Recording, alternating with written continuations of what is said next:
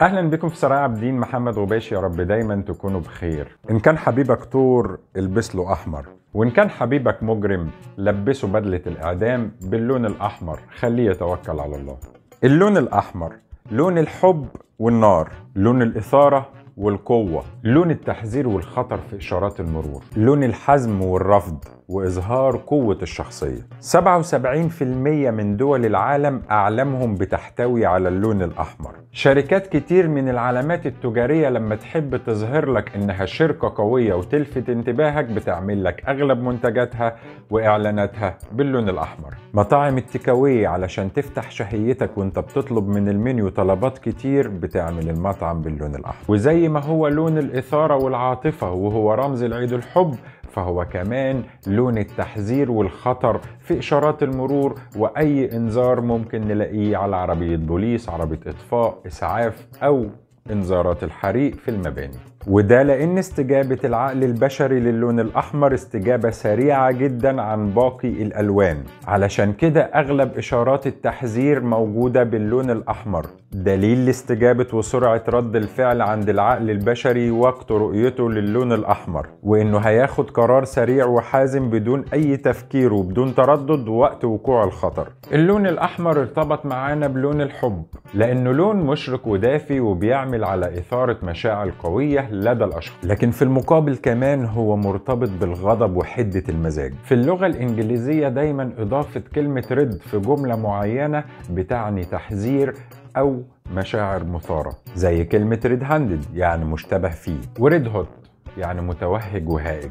و paint the town red يعني مستمتع بوقته جدا ومسترخي. تناقض وتضارب كتير جدا في اللون الأحمر. الميزة وعكسها. علشان كده هو اللون الوحيد اللي له سلبيات وإيجابيات. درجات اللون الأحمر كتيرة جدا لكن له بعض المصطلحات الأساسية المعروفة زي الأحمر البندقي والأحمر الفارسي.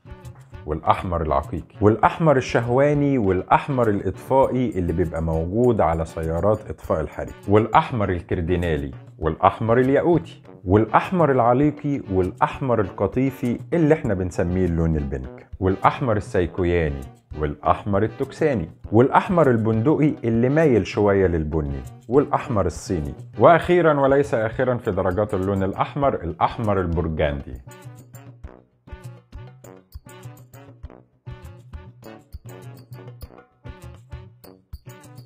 دلالات كتير للون الأحمر سواء دلالات صحية أو نفسية في الثقافات القديمة زي الثقافة الصينية والمصرية. اللون الأحمر لون سعيد الحظ عند الأسيويين. الصينيين والمصريين القدماء استخدموا اللون الأحمر في العلاجات الجسدية وكانت معروفة بعلم العلاج الضوئي. علماء النفس قالوا إن اللون الأحمر يرمز إلى الحب وعلماء الطاقة قالوا إن اللون الأحمر يرمز إلى الانتماء وتأثير تواتر وموجة اللون الأحمر على خلايا الجسم والجهاز العصبي. بيمكن إنها تقوي روح الانتماء والتعاطف مع الأشخاص المنعزلين شوية أو اللي بيعانوا من التباعد الاجتماعي أو الأشخاص اللي عندهم مشاكل عائلية أو المغتربين اللي بيعانوا من الوحدة. علشان كده اللون الأحمر بيدخل في علاج تعديل المشاعر السلبية. وهنا نقطة مهمة ده يخلينا اللي إحنا نعمله في ال living room علشان يعمل نوع من أنواع الدفء الأسري والانتماء والحميمية. أغلب الناس اللي بترتدي ملابس باللون الأحمر بيكونوا أشخاص عندهم حب الظهور وحب لفت الانتباه وحب الناس وإثارة مشاعر الحب والاحتواء لأن اللون الأحمر لون يرمز للتفاعل مع الناس.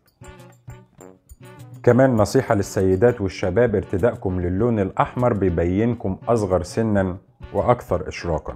بس مش أنا طبعا. في تفسير علمي بيقول إن اللون الأحمر خلف شبكية العين وده بيجعلها في بعض الأحيان إنه يجبرها على التحدث بصورة أكبر وده بيفسر جذب الانتباه للون الأحمر. علشان كده عملوه من العلامات التحذيرية زي ما قلنا في إشارات المرور وفي إنذارات الحريق. وده بيخلي الأجسام اللي باللون الأحمر تبدو أقرب مما هي عليه. اللون الأحمر بيزيد ضغط الدم وبيخلي ضربات القلب أسرع. لكن بقول لكم إن ده تأثير وقتي ولحظي وقت رؤية اللون الأحمر.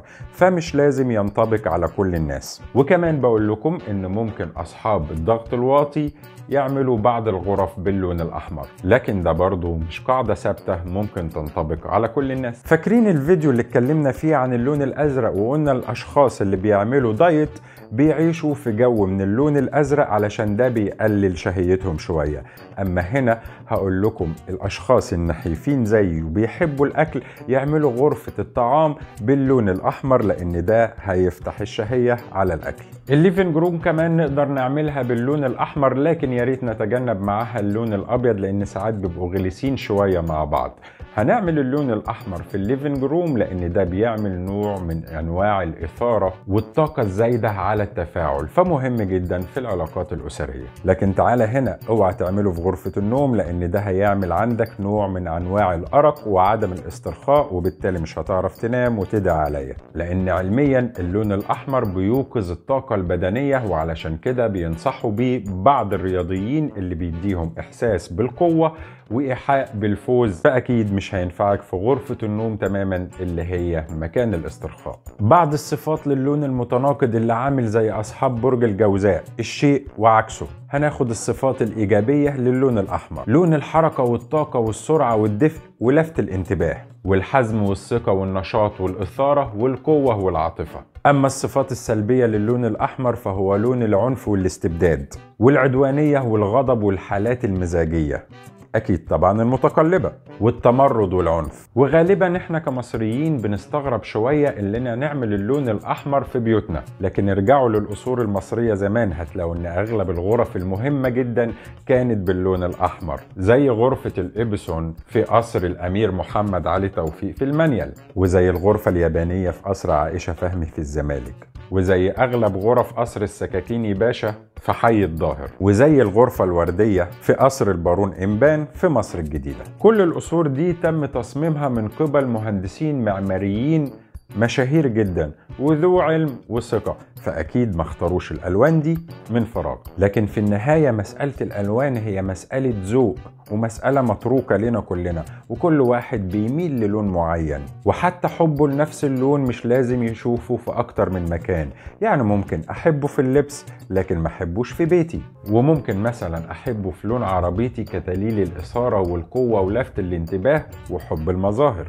لكن بالتأكيد مش هحب اللي أنا أشوفه في بدلة رسمية عليا. وفي النهاية أحب أشوفكم دايما على خير وأحب أشوفكم بتعملوا لايك واشتراك في القناة. شكرا أشوفكم على خير.